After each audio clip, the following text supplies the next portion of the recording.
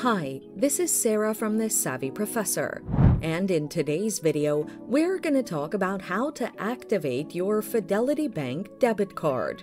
Watch the video until the end to learn the simple steps you can follow to do this and more. On your web browser, visit www.fidelitydebitcard.com to access the Fidelity Debit Card website. The link is in the description. On the login form, enter your username and password. Click the Log In button. You'll be required to fill in an extra security step. Select the method you want to receive the security code. Enter the six digit security code that you'll receive. Click Submit to complete the login process. Click on the Manage Debit Cards option once you've logged in. On this page, click on the Activate Card option. Enter the three digit security code on your Fidelity debit card and click Submit.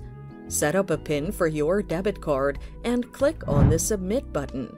Enter your new four digit debit card PIN and proceed to confirm. Click on the Submit button. A notification will pop up that you've updated your PIN.